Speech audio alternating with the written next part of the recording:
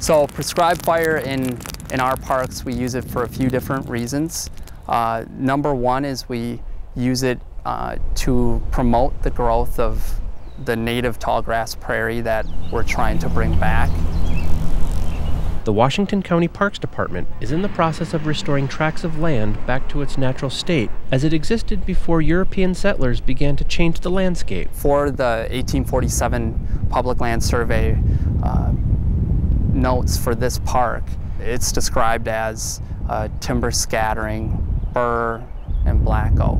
Basically, that's saying that there was this savanna, big bur oak trees that grow up in an open environment, yet is maintained through the use of fire, which the Native Americans used not only in, in hunting game, but also that created this whole ecosystem of fire-dependent species on, on the land. Back in the 1990s, they seeded this site. Uh, formerly, it was an ag field and with cropland uh, and grazing and things of that sort. And after they took it out of production. They seeded it with native grasses and native flowers. Prairie restoration includes many parts to make it work and even affects the smallest of inhabitants. They found ants to actually uh, bring in flower seeds, which we call forb, and that forb uh, depends upon the overwintering. So the, the ant grabs the seed inside the prairie and brings it into the colony and actually overwinters it and that provides the germination it needs to either germinate on that mound or outside of it. As part of the restoration, prescribed burns are being used to help promote growth of native species, while at the same time controlling that of invasive species. And so that fire actually removes all the top growth that is present in the prairie from the previous growing season and returns all those nutrients back into the soil. A lot of people don't know that the prairie, most of the prairie's plants, all, all the plants you see above here is just a little part of the whole uh, system below it. And there's prairie plants that their root systems go anywhere between three to 16 feet deep and they're filtering water um, and any pollutants out of that. Lots of planning and preparation go into ensuring that the burn is safe and effective. Before we even get out here and are able to burn, uh, it starts at with me identifying where and when we're going to do that burn. We go to the Minnesota DNR and we actually get variance uh, approvals from the region-wide uh, forester for this area. That forester will then review our burn plans and actually come out to the site and ensure that they're safe to conduct a fire in.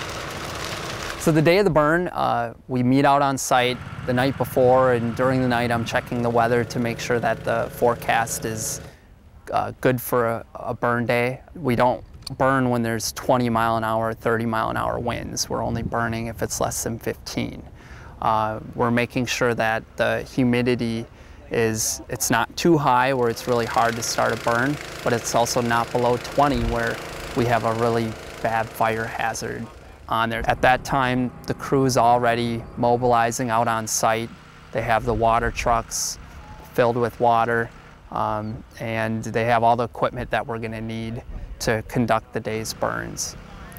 In addition to our mowed turf trails that we have, we actually have a, a staff member go and cut down more of the prairie adjacent to those trails to establish a burn break. And that burn break doesn't necessarily stop the fire, it just gives us a little more time to ensure that it stays contained.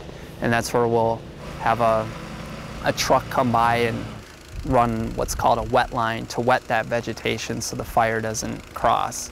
There's all these different teams of, of people doing different things. Uh, myself and my supervisor were uh, working as the burn boss and weather observer, making sure that the weather wasn't changing on us and making sure everyone needed to be where they were at. Uh, and then you had a ignitions team, you call it, the guy with the fire torch who is out there actually lighting the fire.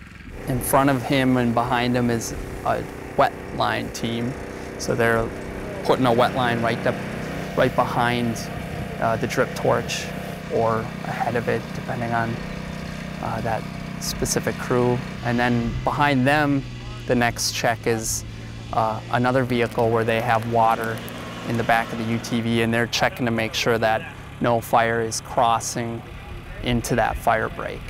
So there's all these different checks in terms of the day, in terms of the burn day to make sure that that fire isn't escaping. An oak savanna is not complete without oak trees.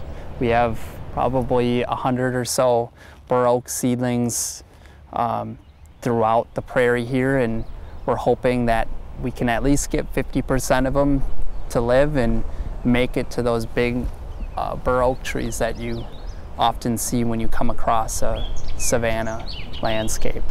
All this work goes to help protect a disappearing part of our local ecosystem. These types of plant communities of prairie are actually very rare in this state. I mean, what remains, it's like less than 1% of what actually existed on the land prior to uh, European settlement. So if, if you like to see the birds, the bees, and the other pollinators and amphibians and wildlife, they depend on these on this type of ecosystem that we're standing in.